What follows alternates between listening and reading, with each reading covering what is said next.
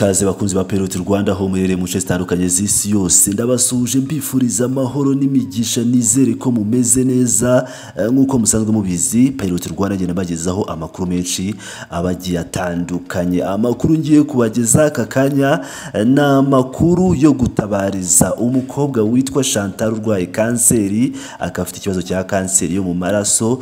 Eh, ni mu gihe umuhanzi witwa Diplomate yari yabanje gukeka ko bari kumwitirira bateka imitwe gusa yaje gukeka eh, gusa ibyo yaje gukeka yaje gusanga atari ukuri abona ukuri kose. Niyo mpamvu turi kugaruka kuri iyi nkuru yose uko yakabaye eh, duhere ku byo diplomate yatangaje ndetse eh, n'uko byagenze. Ubundi turebe inkuru y'uburwayi bw'uyu mukobwa witwa Chantal.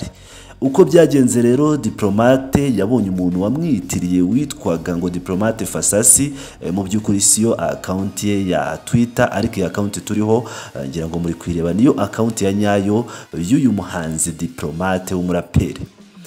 Uyu muraperi rero yagize ati uyu muntu unyiyitirira agiye kumaraho abantu udufaranga twabo ni umutekamutwe kabuhariwe mu by'ukuri diplomate ntiyari azi uko byifashe. Ubutumwa uh, bw'uwo muntu bwagiraga buti uyu mukobwa yitwa Chantal yagize ikibazo cya kanseri yo mu maraso.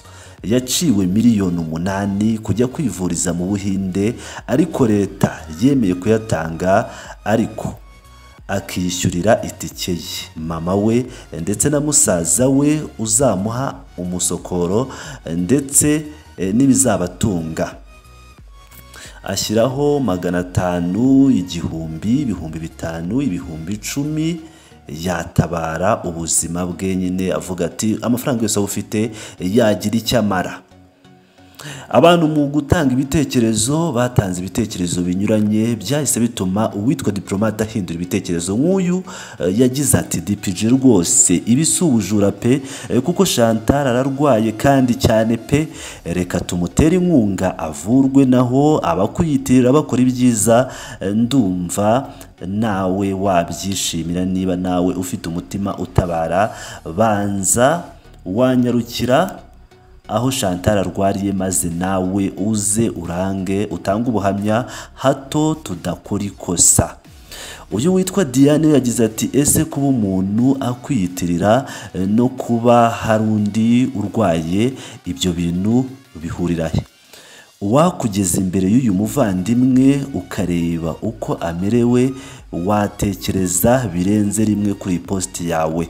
Umubiri ko atari feya wakiturije wa muntu we undi yagize ati ntabwo ari sikamu uyu mukobwa ararwaye ahubwo eh, ni umuntu wakwiyitiriye wenda wateje ikibazo ariko we ararwaye. I Nyamata ku bitaro bya ADPR undi yagize ati bityo wikwibeshya ku muntu ngo ni uko afite amazina nk'ayawe ngo wumve ko bakwiyitiriye bakaba barimo gutubura kuko uwuvuga ko yakwiyitiriye nawe ubwe n'umwe mu bari kurwara ah, kurwana ku muvandimwe ngo turebe ko amagara ye yakwitabwaho agahabwa ubufasha ah, mu gihe cya nyacyo nawe wafasha.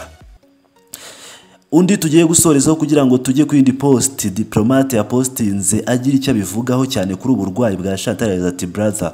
Witiranyije ibintu pe ntago bigeze bakwitirira pe kandi. Umuvandimwe uvuga ntago ibyo wamuvuzeho umuharabika ariko bimeze pe.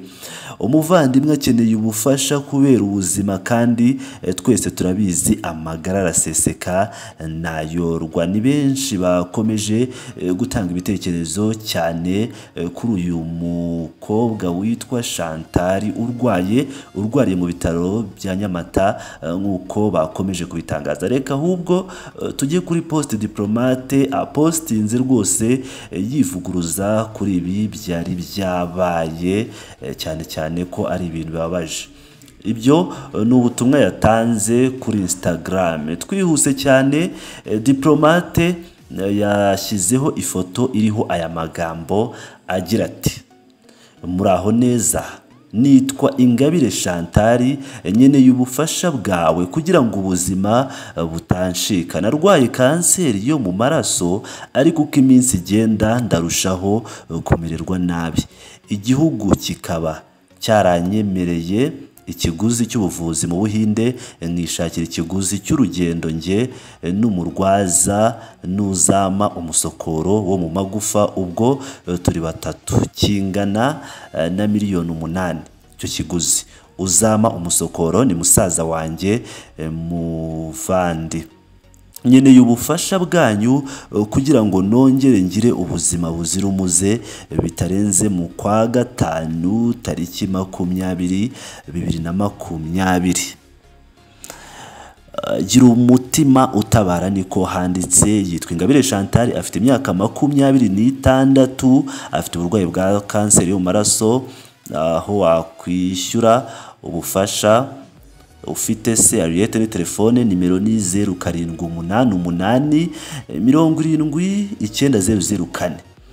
Diporomate nyuma yo kubona ubu butumwa ndetse akamenya ukuri kose nawe yagize uburyo atabariza uyu ingabire chantal urwaye. Yagize ati muri positi yabanje nagaragaje impungenge maze igihe ngaragaza z'umuntu wanyiyitiriye kuri twita ariko ntago yari yarigeze abikoraho. Bisanzwe bimenyerewe ko abantu biyitirira abandi bagakora ibikorwa bitari byiza mu mazina y'abandi. Bityo rero impungenge zanjye zari zifite ishingiro n'ubwo bwose hari n'amashirakinyoma atanyitiriye kubera ko atari ngewe gusa witwa diporomate norfasasi njyenyine mu rwanda.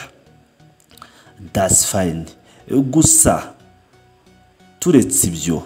Nkurikije ibitekerezo byagiye bingeraho biturutse mu mpande zitandukanye nuko koko ari byo ari ukuri ko uwo mushiki wacu ingabire chantal arwariye mu bitaro bya deperi nyamata akaba akeneye ubufasha bwacu kugira ngo abashe gukomereza ubuvuzi bwe mu buhinde. Ubufasha bwawe uko bungana kose binyuze kuri nimero no kuri iyi positi kwigerera mu bitaro byavuzwe haruguru byarokora umuvandimwe mbaye mbiseguyeho ku rujijo. Rwaturutse kuri positi yabanje y'uwanyitiriye niseguye ku murwayi inshuti n'umuryango we kwigabanyuka ry'inkunga. Ibi byaba byateje kandi nizeye ko ntarirarenga nidukomeza gutanga ubufasha bwacu hamwe n'imana turarokora ubuzima bw'uyu muvandimwe murakoze dukomeze twibuke twiyubaka. Save chantal.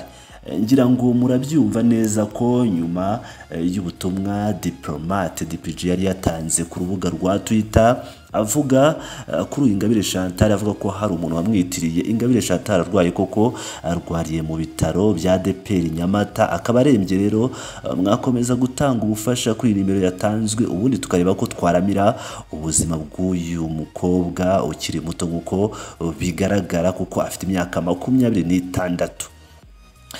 Ndabakunda cyane ni payiroti rwanda nk'ibisanzwe ndakomeza kugenda mbashakira amakuru menshi agiye atandukanye nk'uko mba nyabagezaho mukomeze muhane nanjye buresapu mwibuka kugana sabusikarayibu like na share.